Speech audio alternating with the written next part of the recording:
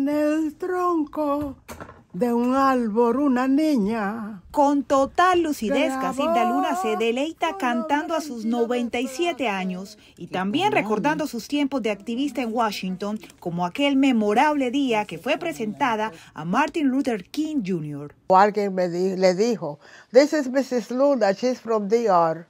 Oh, from DR, girl. Pero él también estaba cansado.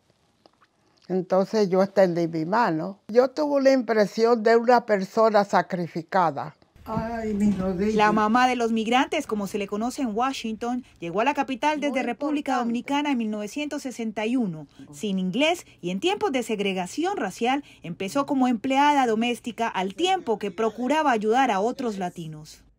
Consiguiéndole empleo, mandándolo a la escuela, a estudiar. Fue tal el impacto de su activismo que 47 años después el gobierno de la capital estadounidense mantiene la Oficina de Asuntos Latinos de Washington con un presupuesto actual de casi 7 millones de dólares anuales.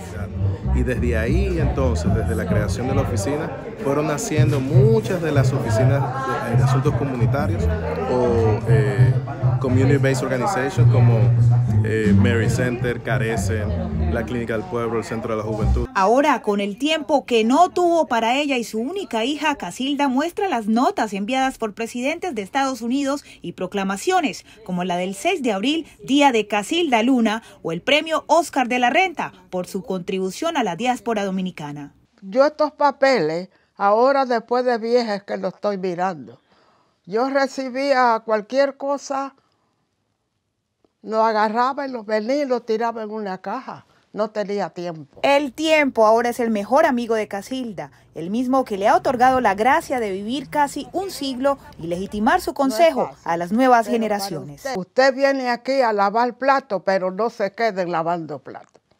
Tiene que ir a la escuela y mejorar su forma de vida. Diva Lizette Cash, Voz de América, Washington. Tú eres la que mi tronco hirió.